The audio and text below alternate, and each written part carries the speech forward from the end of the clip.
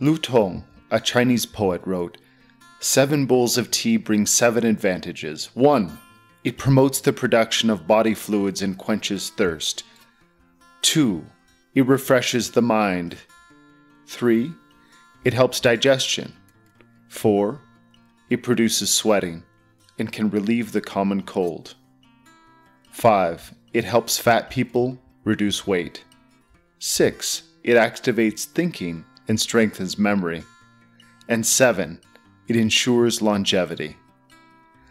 Assuming that Lu Tong was correct, the only reason the tea might actually affect all of these properties, from treating a common cold to fat reduction and increased memory, is if tea had a special influence on gut microbiota. In 2006 at the University of Singapore, researchers Lee, Jenner, Low, and uh, a different Li, they're not related apparently, joined forces to explore the effects of tea on the digestive microbiome. They found that the polyphenols in tea act as food for microflora by making the GI tract more diverse. They suppressed bacteria associated with fat gain and left more cordial bacteria strains in peace.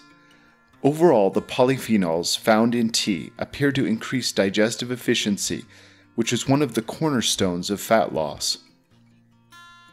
If you are looking for a tea that is good for fat loss, you probably want to know which one is generally the most effective.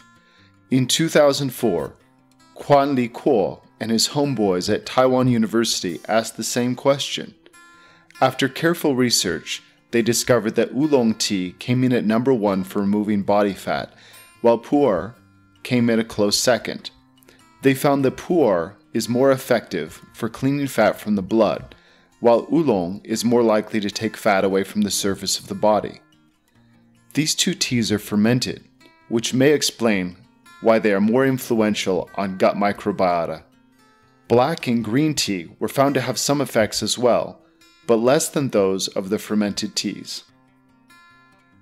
If you look in grocery stores, especially Chinese grocery stores, you'll inevitably find some type of tea that calls itself fat loss tea or weight loss tea. For the most part, these teas are senna or senna based. Senna is an herb which increases bowel movements, so essentially they're giving you laxatives. Yes, for some people it can have positive effects, but for most people, it's a rather cheap trick to get the numbers on the scale a little bit lower by reducing water weight. What's most important with weight loss is to understand what is the main cause of the weight gain that's caused the disturbance in the energy balance. Weight loss is all about energy balance. Once you can find out what the main culprit is, then you can deal with it accordingly. Speaking from personal experience, I'll get very busy in a certain project and not have as much time to eat quality food. However, there are even teas that can help you overcome this. I'll give you an example. While in China, I would get overly focused on work and forget to cook. I would go around the corner to get what was essentially a pizza. It wasn't really a pizza, it's kind of a Silk Road early version of a pizza, so no cheese, but it's essentially bread, grease, meat, and everything that you really are craving when you've been working too hard and moving too little. It was so greasy that the paper bag would be see through by the time I got it home. It came with an herbal drink. The boss wouldn't sell me any pizza if I didn't take the drink, and he would explain that it would make you sick if you didn't have these two together. The tea was made out of two Chinese herbs the purpose of the herbs is to break down all of the oils and fats that make the Silk Road pizza pretty well undigestible. It worked. Even after eating something that shouldn't remotely be healthy, I felt great. The tea was dry and cooling, while the Central Asian pizza was damp and warming. The beverage was made of Chinese hawthorn berry, shanjia, and moom fruit, wu mei, these fruits help people break down and metabolize fat. They increase bile secretion. Studies on hamsters have shown that tea made from these fruits can stop fat from accumulating. It also helps people break down fat that is under the skin. Well, at least it's helped Japanese men do this in studies. Shanjia and Wumei together is called Suanmei Tang. I want to bring you through a little bit of the pharmacology so you can see exactly how this is helping to not only aid digestion so people can break down fats, but also how it affects the body at a deeper level. It helps to maintain cholesterol balance. So if your cholesterol is too low, it can help to increase it. And if it's too high, it can bring it back down. And it does this by activating a gene called LDLR. It inhibits the synthesis of cholesterol when it's too high. It regulates fat metabolism. So if you have fat on your body and you take Chinese hawthorn, it can help increase your energy levels so that you start burning the fat you already have. It protects against hardening of the arteries. It helps neurodevelopment to increase mental function. God knows we could use that in this country. It transports nutrients and vitamins increases the secretion of digestive enzymes in the stomach, and improves digestion. It increases protease to help digest meat easily. It lowers blood pressure. It inhibits bad cholesterol and helps to improve good cholesterol, although realistically, you know, I question whether it's that good or bad. It inhibits TC, LDLC, and APO beta to lower bad cholesterol, LDL. It increases HDLC, APOH1, and APO alpha 1, which helps remove the cholesterol in cells, while improving good cholesterol, or HDL. It's antibacterial. It has an antiarrhythmic effect. It's been shown to help establish a healthy heart rhythm. Next is Wumei. This increases bile flow, so this will not only help you break down the fats that you're eating, it'll help to clear out the fat that's around your midsection. It reduces gas to make you more popular in elevators. It increases gallbladder activity, again, because it stimulates bile, and it stimulates digestive juices. It increases salivary flow in the parotid glands. This is really important because your saliva is kind of like the bouncer for your gut flora. Your saliva has enzymes in it that can help dissolve certain types of bacteria, and it really helps to maintain the checks and balances. Once the saliva flow starts to decrease, which happens in high stress situations, it can throw off your gut flora and your gut balance. By taking Wumei, it helps to restore healthy salivary flow. Also, the flow of your saliva will decrease with age, so taking a little bit of Wumei now and again could be very good for you.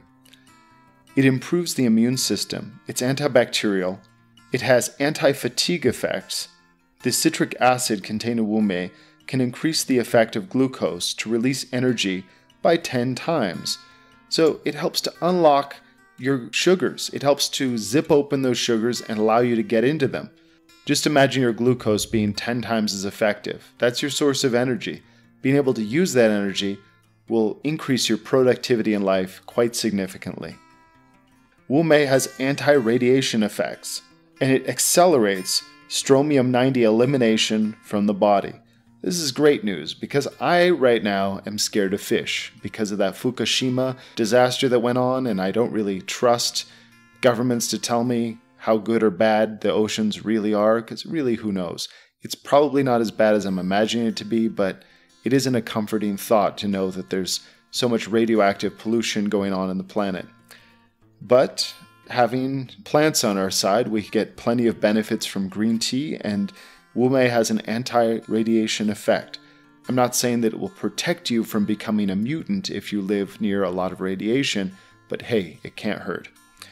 If you do things like fly in planes or live near mountains or at high altitude, then you're constantly getting radiation damage. So, taking plant based medicines superfoods, etc., that help to remove that radiation, it's not a bad idea.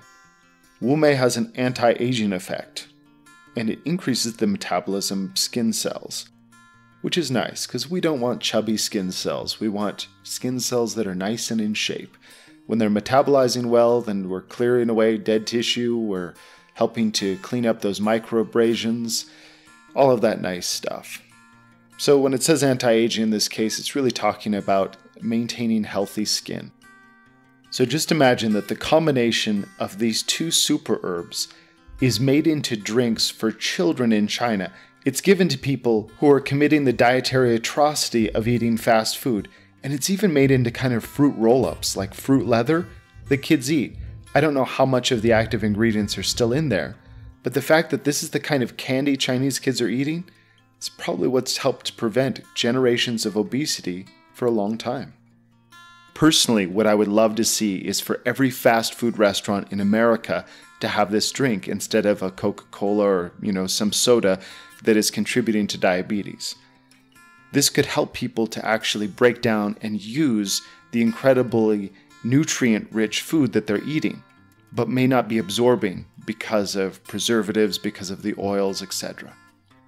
So, if you feel like making millions of dollars while helping to make America a better place, please take this idea and run with it. If you have contacts within the restaurant industry, remember Shanjia and Wumei can help people to digest fats and break down fat that's accumulated under the skin. This is truly a multi million dollar idea. For God's sakes, take it and run with it if you have any connections within this industry. We're more than happy to help you meet the farmers in China to get the highest quality and safety ratings to allow you to do it. So, as wonderful as they are, when shouldn't you take Shanjia Wu Mei? Shanjia, because it has a slight blood thinning effect, should not be taken by people who are on warfarin or other blood thinners. It also is not great on digestion for vegans. If you never eat meat, if you have an extremely low fat diet, then what it will do is it'll start dissolving some of your stomach. So it's not great for everybody. However, if you're like me and you like the taste of steak and fat, if you like your fats, you like your meats, this is something that you probably want to have around. If you're eating a very heavy meal, think about Thanksgiving. This is the kind of beverage that you're going to want to have before you hit the beer and football. We'll get to that later. There are herbs you can take to counter the side effects of beer. This particular mix, Shanjia and Wumei, is great for oil and fat. So, for all of you bacon lovers out there, this is really an herbal combination that you're going to want to enjoy. Slightly sweet and sour. Yes, you can add a little bit of sweetener to it. I won't tell anybody. Because ultimately, it's designed to help you break down fats. There are other herbal teas that help to break down sugars and starches. This combination is really specific to help you break down meat and fat. Everyone has their vices. Personally, you're more likely to see me getting really into a steak than you are a birthday cake. For other people, they have a sweet tooth, they're not so much into the meats and fats. We all have our likes and dislikes, so Shanjia and Wumei are just heaven sent when it comes to breaking down fats and for indulging in those fatty foods that have caused fat gain in the long run. For all you beer lovers out there, Shen Qu is used for digesting fruit, vegetables, and alcohol. Mai Ya is another one that's almost always paired together with Shen Qu. And this is when you've had the starches, potatoes, noodles, bread, etc. It helps you to break it down and use it so it's not stored for later as fat. Now, does that mean that I know I'm going to be hitting the beer or the bread, that I make sure I'm taking my Shen Qu and Mai Ya with me? Well, not really. It's kind of a bit of a bother. What I'll do instead is generally throughout the day in the mornings, I'll drink some fermented tea, maybe a Tibetan tea. And if I know I'm going to be hitting the beer pretty hard or having something starchy or having a lot of meat and uh, fats, what I'll do is I have a formula which we call MicroGuard, and it combines these herbs into very small pills so that they're very easy to digest. If I've eaten something that I shouldn't have, I take a little bit of that and it tends to help cover some of those dietary sins. And I'm not saying you can eat like a total pig and then eat that and it's okay, although we do have patients who have taken it, eaten whatever, and have reported that they have lost weight anyway. Not suggesting you do this, it's really a lazy, easy way out. It's much better to have a better diet and then take that as needed as opposed to every day. But hey, I'm just presenting the tools, do what you want. Now back to fat loss as a general subject. What about Earl Grey tea or what about general black tea? Does it still have the polyphenols? Yes, it does. It doesn't have as many of the prebiotics as some of the fermented teas that are very well prized in China, such as pu'er or oolong. Some of those teas get quite expensive. In my opinion, there's kind of a breakdown where you get some decent tea and then you know, when you get to where you're paying hundreds of dollars, you're getting minimal return. You get kind of diminishing returns the higher you go up there. There's also artificial inflation as far as pu'er is concerned. And the reason for this is because if you buy a brick of pu'er tea, it can increase in value by as much as 20% a year. So what people do is they'll buy a bunch of this pu'er tea and just keep it in their house knowing that it's increasing in value faster than they may be able to make in a stock market. It's also been used among Chinese government officials for, let's just call it bribes. That's what it is. So people will say, oh, here, I got you a brick of tea, but it's a $10,000 brick of tea that increases by 20% in value every year. So as a result of this, it's very difficult for most people to get high end pu'er tea that's not artificially inflated in price. It's also well worth looking at some of the Tibetan teas, which are also fermented but haven't been marketed as aggressively as pu'er has been marketed at an international scale. So you can get some of the same benefits that you get with pu'er tea, but with some of these lesser known Tibetan teas that work just as well, they're delicious and work very well on fat loss. They're not going to come with the same amount of clinical testing as pu'er simply because it's not as famous. One of these Tibetan teas, it's also used in the Yi minority region, is called Ku Mai. This is a kind of Tartarian buckwheat. In some areas of the world in Central Asia, it's considered like a weed. So this tea tends to be cheap. It's getting marketed now, so the price is coming up. But there have been studies on it lowering blood fat, lowering fat around the skin, the uh, you know subcutaneous adipose tissue and also its effects on lowering blood sugar, blood lipids, and blood pressure have made it quite popular because it's pretty cheap, it has sort of a cereal type flavor to it. It's kind of like having granola or I don't know, I think of it like oats, the kind you feed to horses. I don't know if you've ever really smelled those kind of oats. It's um yeah, it's kind of like that, a little bit nutty, I suppose. So these fat loss teas, what do they really do? Do they cause you to lose 500 pounds if you're, you know, 600 pounds? Well, not really. What they realistically do is they help with your digestion. They tend to cause people to lose 5 or 6 pounds of fat, which is good.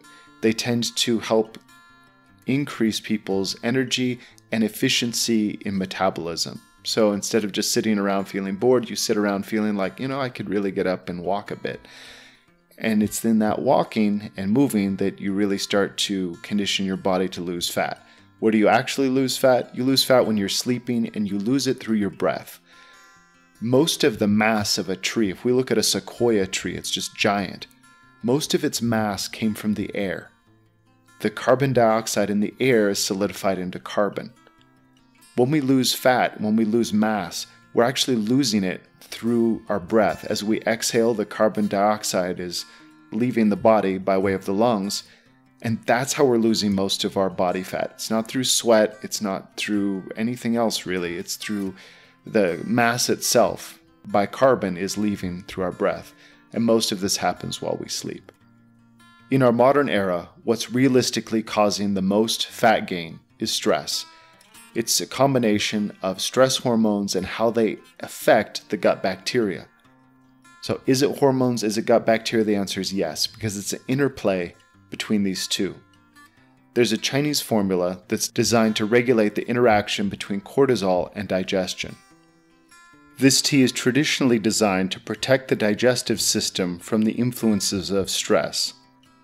This formula, called Xiaoyao San, was first described in prescriptions of the imperial pharmacy during the Age of Peace in 1107 AD.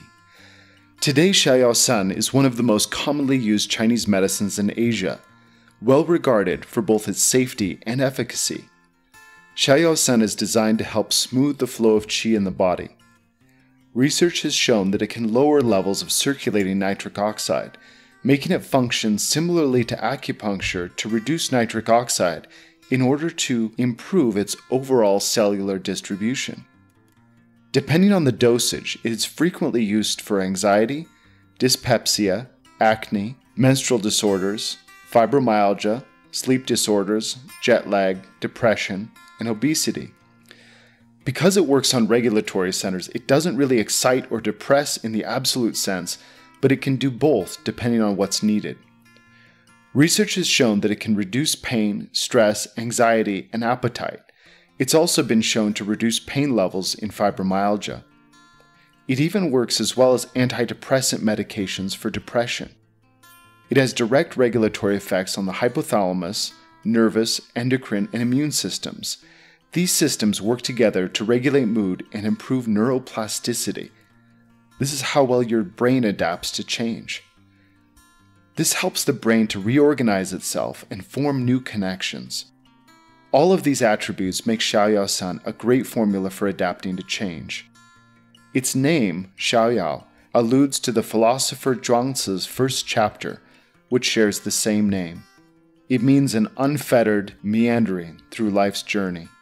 Its free and transcendent feeling is a very appropriate description for the feeling that one has while taking this formula.